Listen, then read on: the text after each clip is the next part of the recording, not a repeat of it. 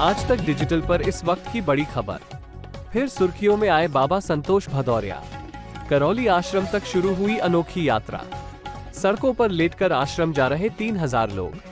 करौली बाबा के ये भक्त दंडवत यात्रा निकाल रहे हैं।